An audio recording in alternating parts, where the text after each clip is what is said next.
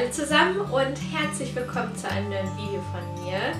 Es ist jetzt Anfang April und ich habe mir vorgenommen, dass ich für den März jetzt einen eigenen Lesemonat mache. Ich habe es ja in den letzten Monaten immer so gemacht, dass ich für zwei Monate zusammen immer den Lesemonat abgedreht habe. Aber der letzte Lesemonat ist ja auch ziemlich lang geworden mit 16 Büchern.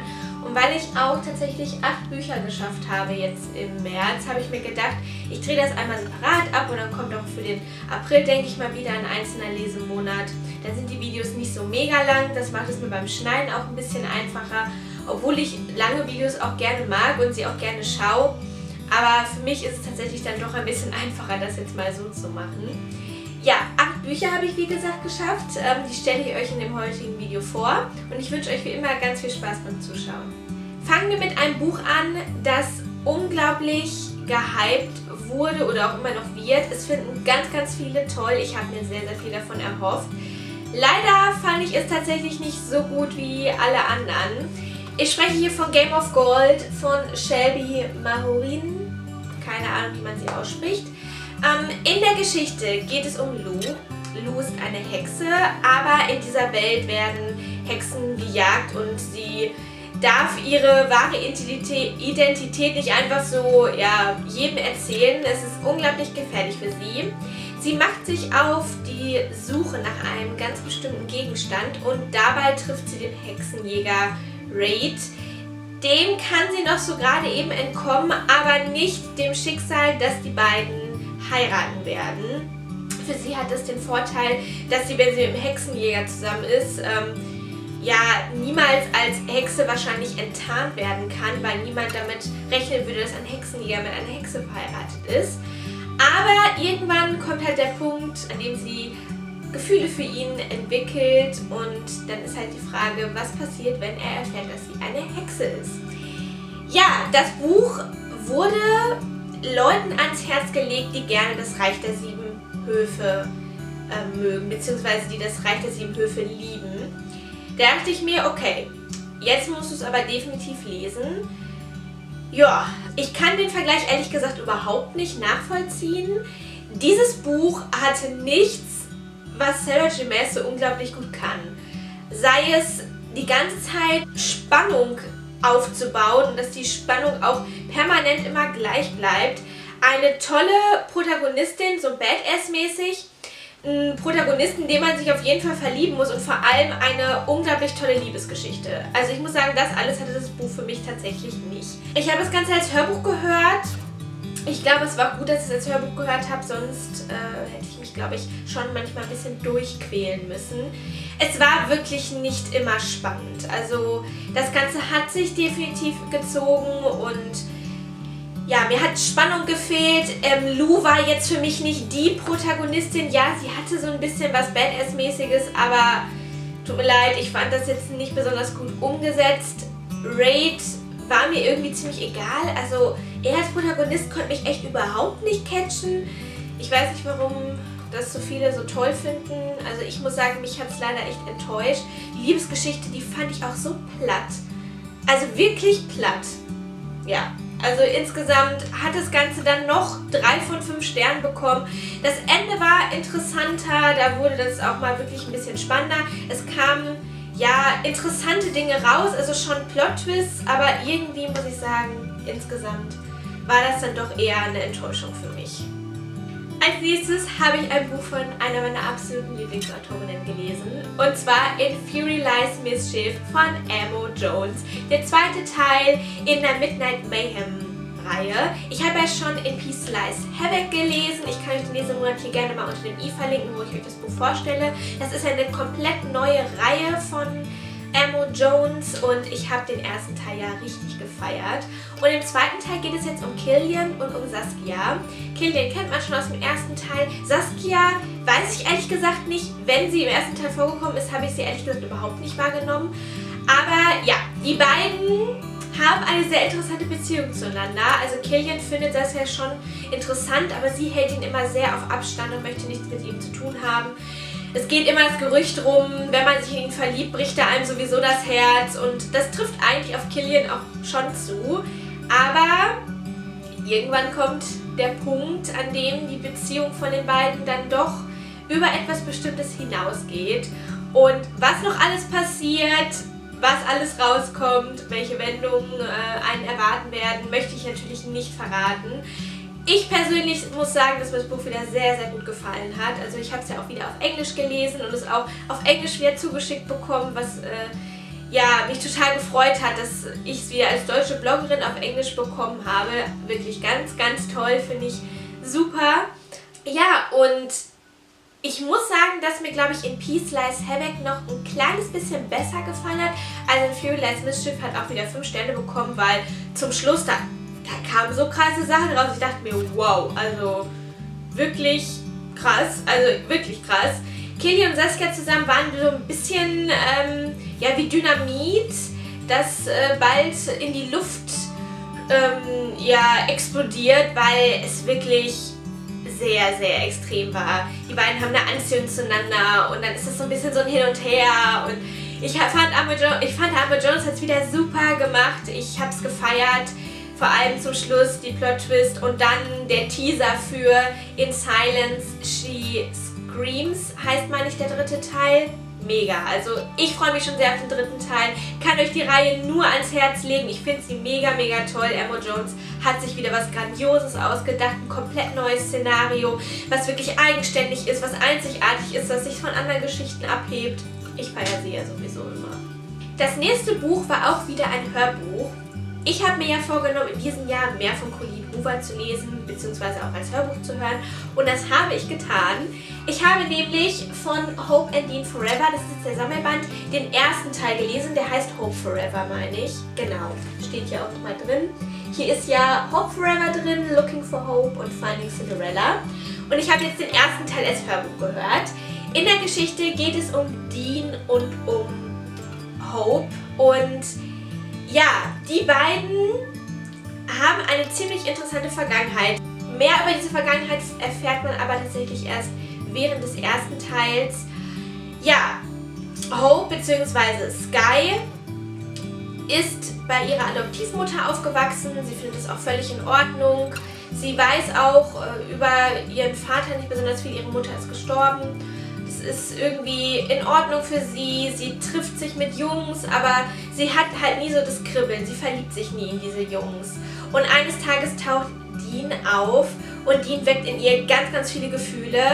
Aber zwischen den beiden scheint ganz, ganz viel zu stehen. Und was das alles ist, was es damit auf sich hat, möchte ich nicht weiter verraten. Ich finde es tatsächlich ein bisschen schade, dass das Buch Hope and Dean Forever heißt. Klar, Hope Forever heißt auch der Titel vom ersten Teil, aber ich finde, daraus kann man noch nicht so wirklich ableiten, dass Sky anscheinend noch Hope als Namen hat. Aber was es damit auf sich hat, möchte ich wie gesagt nicht weiter verraten. Ich finde es halt nur schade, dass die das für den Band jetzt so gewählt haben. Ja, ich fand das Buch wieder richtig toll. Es war eine coole Highschool-Geschichte. Also das Ganze spielt auch mit einer Highschool, aber natürlich treffen sich Sky und Dean auch ähm, anderswo. Aber ich mochte es wirklich gern. Ich fand die Nebencharaktere toll. Also die beste Freundin von Sky hatte so das gewisse Etwas. Auch ihren ja, besten Freund, den sie an der Schule kennenlernt. Sie wurde nämlich ganz, ganz lange zu Hause unterrichtet und geht jetzt aber für ihr letztes Highschool-Jahr ja, an die Highschool, was ja auch alles dann ganz neu für sie ist und Freunde finden und das kennt sie ja alles nicht, sich irgendwo anschließen und dann lernt sie halt jemanden kennen oder wird ihr bester Freund und das fand ich echt toll beschrieben. Einige Sachen in der Geschichte habe ich ja kommen gesehen, andere definitiv nicht. Also zum Schluss, ich war so baff, als da was rausgekommen ist. Dieser Plot-Twist, der war wirklich von, Ho ähm, von Hope Forever wollte ich jetzt schon sagen, von Colleen Hoover mega, mega gut gemacht. Also ich ziehe da echt meinen Hut, wie sie darauf gekommen ist. Ich habe absolut nicht damit gerechnet. Mit manchen Sachen, wie gesagt, schon, aber damit definitiv nicht. Was ich manchmal ein bisschen unrealistisch fand, ist, ähm, Sky hat definitiv Erinnerungslücken. Und während sie den kennenlernt, ja, kommen immer mal wieder welche wieder. Und ich fand es halt ein bisschen unrealistisch, dass sie dann auf einmal plötzlich alles wieder weiß und ja, das alles so Schlag auf Schlag gekommen ist. Das fand ich ein bisschen unrealistisch, aber ja, mein Gott, ich mochte es gerne, hat 4 von 5 Sternen bekommen. Der nächste Teil ist ja praktisch nur der erste Teil aus der Sicht von Dean, also vom männlichen Protagonisten. Und Finding Cinderella ist eine Novelle.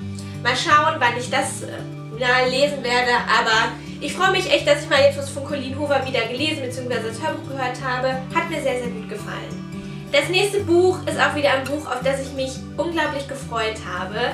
Es ist der sechste Teil von True North, unser Traum von für immer von Serena Bowen. Ich mag die True North-Reihe wirklich sehr, sehr gerne. In diesem Band geht es um Benito Rossi, wenn ich mich nicht irre. Genau. Und hier ist die Protagonistin auch Sky.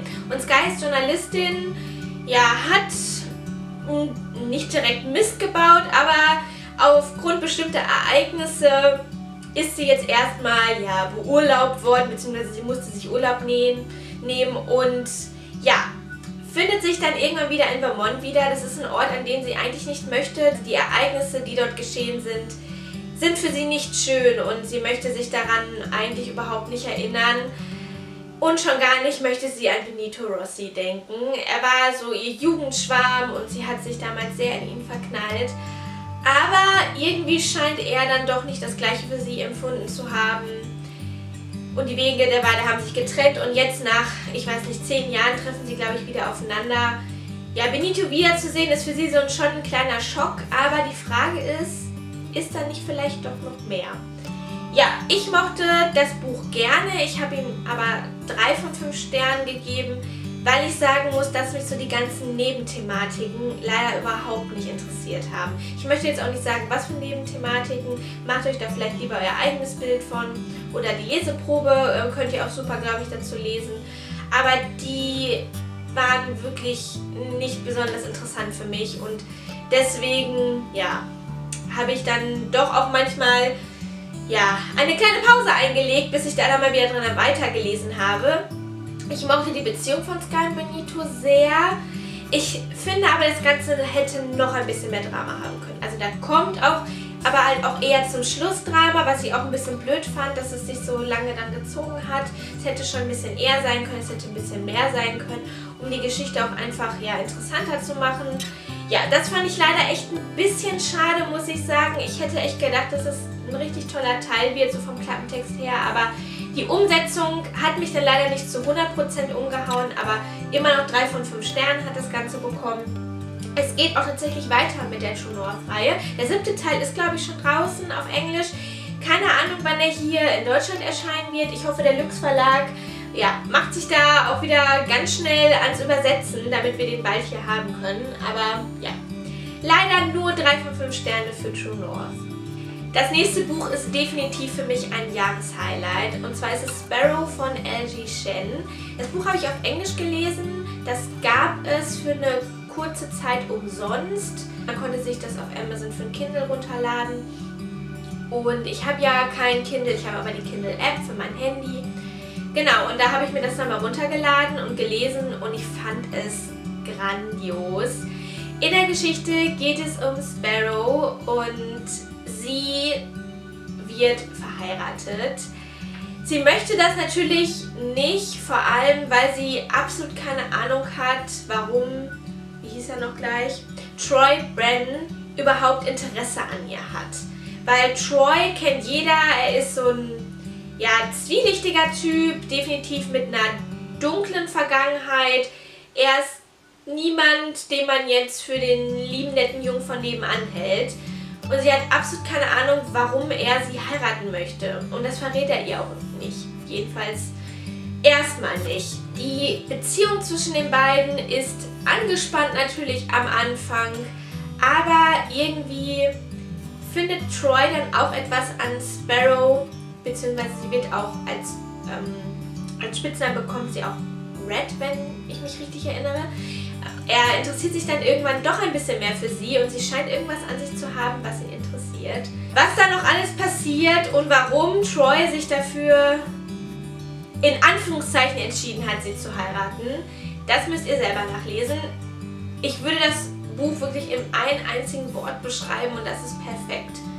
Der Handlungsverlauf war super. Spannung war die ganze Zeit da. Ich konnte nicht aufhören, darin weiterzulesen. Ich mochte Troy, ich mochte Sparrow. Sie waren super Protagonisten. Die Chemie, dieses auch hin und her zwischen den beiden fand ich super. Die Plot-Twists, oh mein Gott, sie waren grandios, so wie ich es von L.G. Shen kenne. hat sie wirklich mega gut umgesetzt. Also ich kann euch das Buch auf jeden Fall ans Herz legen. Es ist ein etwas älterer Titel von ihr. Ich glaube, der ist 2016 erschienen. Aber er ist auf jeden Fall nicht schlechter als andere Titel, die jetzt vor kurzem von ihr rausgekommen sind. Wirklich, sie hat mal wieder gezeigt, dass sie eine absolut grandiose Autorin ist für mich. Echt, sie, sie denkt sich so coole Geschichten aus und baut das alles so gut aufeinander auf und dann auch immer diese Plot-Twists und diese Wendungen, mit denen ich absolut nicht rechne, vor allem halt auch in so einem Genre wie New Adult, finde ich grandios. Also ich kann es euch nur ans Herz legen. Ihr solltet es auf jeden Fall lesen. Ich hoffe, dass es vielleicht auch jetzt irgendwann auf Deutsch rauskommt, dass der Lux Verlag das auch übersetzt. Aber von mir definitiv 5 von 5 Sternen, absolut grandios.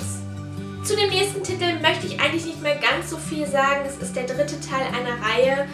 Und zwar Der dunkle Tyrann von Penelope Sky. Ich habe euch ja im letzten Lesemonat den ersten und zweiten Teil vorgestellt. Verlinke ich euch ja auch nochmal direkt unter dem i, wenn ihr da mehr über den Inhalt wissen möchtet. Aber der dritte Teil war jetzt der Abschluss dieser Trilogie. Ich persönlich muss sagen, dass mich die Trilogie etwas enttäuscht hat. Ich habe ja The Wolf and the Sheep bzw. die Wolf Series von ihr gelesen und die hat mir deutlich besser gefallen. Leider konnte mich jetzt die Bankers Series nicht so ganz von sich überzeugen. Schade, Marmelade. Ich hätte echt gedacht, dass es vielleicht auch wieder so eine richtig tolle Buchreihe ist von ihr. Aber leider ist dem nicht so. Was ich echt schade finde, aber gut, wenn es halt so ist, dann ist es so. Der dritte Teil hatte jetzt auch ehrlich gesagt nicht so viele besondere Handlungsstränge. Ich fand so zwei, drei Sachen ganz interessant. Die waren auch nicht schlecht umgesetzt, aber ich muss echt sagen, insgesamt war der dritte Teil und auch die Reihe nicht das, was ich mir erhofft habe. Der erste Teil war für mich tatsächlich noch der beste, weil ich den Anfang und, den Ende, äh, und das Ende super fand. Der Mittelteil war so ein bisschen, hm, aber wie gesagt, Anfang und Ende konnten mich da echt überzeugen, aber der zweite und der dritte Teil haben definitiv nachgelassen. Schade, aber ich werde auf jeden Fall nochmal was von ihr lesen und gebe ihr auf jeden Fall noch eine Chance, weil ich die Wolf Series halt wirklich so unglaublich gut fand. Das nächste Buch war ein Buch, was ich auch wieder als Hörbuch gehört habe und was mich doch ziemlich überrascht hat, muss ich sagen. Und zwar ist es Cursed Kiss von Alana Falk, der erste Teil von der Gods of Ivy Hall Reihe. Ich finde Alana Falk ja wirklich ähm, ja, grandios in dem, was sie da so manchmal schreibt. Wenn ich so zum Beispiel an Sternfinsternis denke, das war ja wirklich ein Buch, was ich so grandios fand. Es hat 5 von 5 Sternen bekommen. Und auch Sternensturm hatte definitiv einen Plot-Twist, mit dem ich absolut nicht gerechnet habe.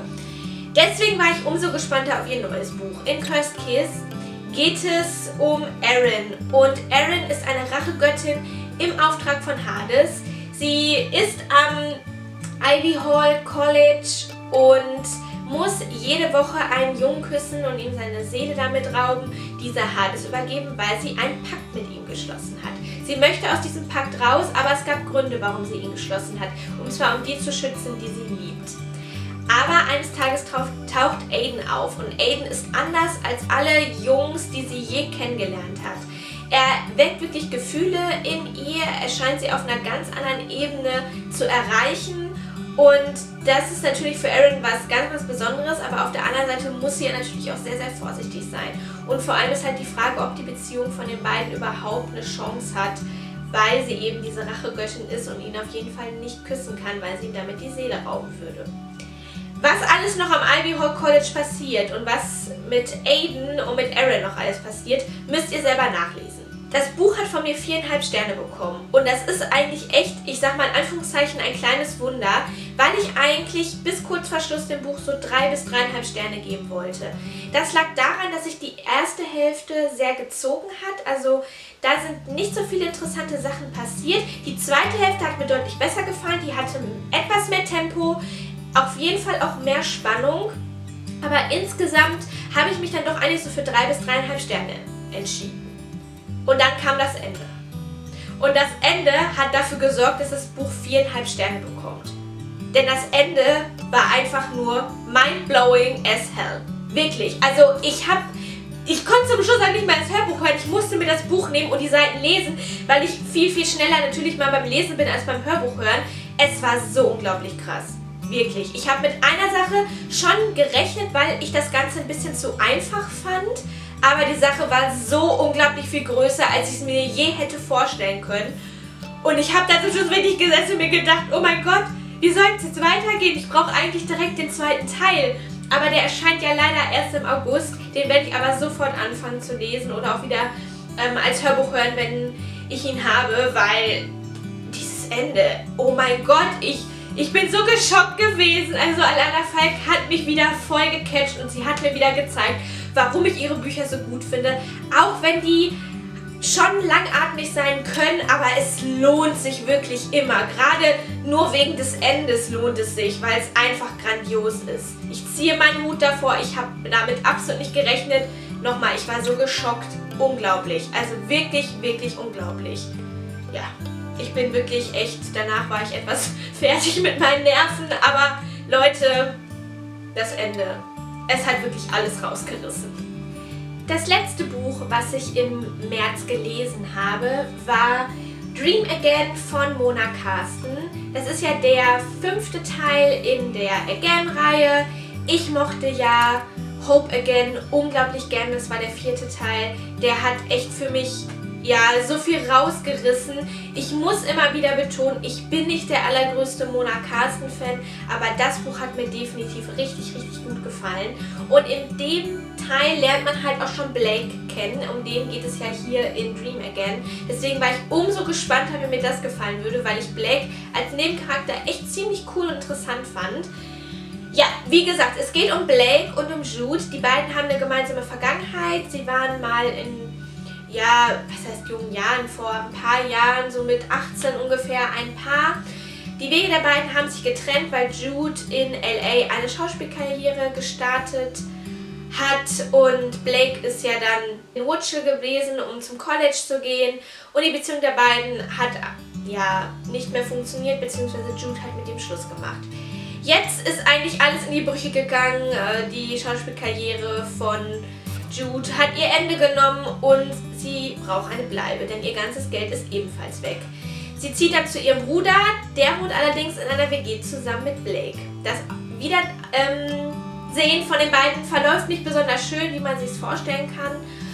Aber die Frage ist natürlich, ist da noch was zwischen den beiden, was ja vielleicht die ganze Zeit noch da war. Ich fand das Buch mittelmäßig, leider. Es hat drei von fünf Sternen bekommen. Es ist wirklich ziemlich lang. Also es hat ungefähr so 470 Seiten, was ich für ein New Adult Buch schon wirklich lang finde. Ist nicht direkt ein Minuspunkt, wenn es gut gemacht ist, dann kann ein Buch von mir ungefähr so lang sein wie, weiß ich nicht was, aber ich muss sagen, das hat man deutlich gemerkt. Ich habe das Buch auch nicht in einem Rutsch durchgelesen. Ich habe immer mal wieder Pausen eingelegt, weil ich es dann doch etwas langatmig fand. Ich habe mir zwischendurch auch mal das Hörbuch genommen für mal so einen kleinen Durchhänger. Das hat echt ganz gut geholfen, muss ich sagen, um dann wieder dann auch reinzukommen und weiterzulesen. Mein Problem war, glaube ich, dass ich Jude nicht besonders mochte. Sie war, ja, für mich nicht besonders toll. Ja, sie hat es definitiv nicht einfach und ja, ihr sind schlimme Sachen widerfahren, aber sie kann auch einfach mal den Mund aufmachen, auf den Tisch hauen und sagen, was Sache ist. Ich finde, das hätte viel, viel besser dazu gepasst, anstatt dass sie sich die ganze Zeit so, ja, so in sich versteckt und so introvertiert ist. Es ist ja auch bis zu einem gewissen Punkt okay, aber das hat sie mir ehrlich gesagt nicht besonders sympathisch gemacht. Und Blake tat mir, um ehrlich zu sein, ziemlich leid. Ich mag Blake echt ziemlich gerne, aber ich muss sagen, shame on me. Ich finde, er hat was Besseres verdient als Jude, weil ich einfach sagen muss, sie ist nicht meine Lieblingsprotagonistin. Blake hingegen mochte ich echt gerne, aber er tat mir, muss ich sagen, echt leid. Er hat es auch nicht einfach. Aber was Jude so mit ihm gemacht hat, ich weiß nicht. Ich fand es irgendwie ein bisschen unehrlich alles von ihr. Das war, glaube ich, so ziemlich mein Problem. Das Ende, ja, war dann irgendwie wieder ganz schön. Ich, ich mochte den Epilog irgendwie gerne. Der, der war echt schön, muss ich sagen, aber ich fand das alles ein bisschen unauthentisch. Ich fand vor allem Jude unauthentisch. Und das war, glaube ich, auch mein Problem mit der ganzen Sache. Ich mochte ihren Bruder total gerne als Nebencharakter und auch so, ja, den Kumpel, den sie da so ein bisschen kennenlernt. Ich mochte die beiden gerne, aber ja, ich muss sagen, insgesamt war das dann doch eher ein Flop-Buch als ein Top-Buch. Leider, aber ja, schade Marmelade wieder so ein bisschen, weil ich Black echt gerne mochte. Aber wenn es so ist, dann ist es halt so. So, das war mein Lesemonat für den März. Ich hoffe wie immer, dass euch das Video gefallen hat, dass ich euch die Bücher ein bisschen genauer vorstellen konnte. Macht euch natürlich wie immer euer eigenes Bild. Nur weil ich ein Buch gerne mag, müsst es ihr nicht mögen. Und nur weil ich ein Buch nicht mag, heißt es nicht, dass ihr es nicht mögen könnt. Es ist immer eine subjektive Meinung, gerade auch so zum Beispiel bei Game of Gold, das finden ja wirklich ziemlich viele toll, aber ich muss halt sagen, mich hat es leider überhaupt nicht überzeugt. Ich wünsche euch natürlich wie immer einen schönen Tag, macht's gut und hoffentlich bis zum nächsten Video.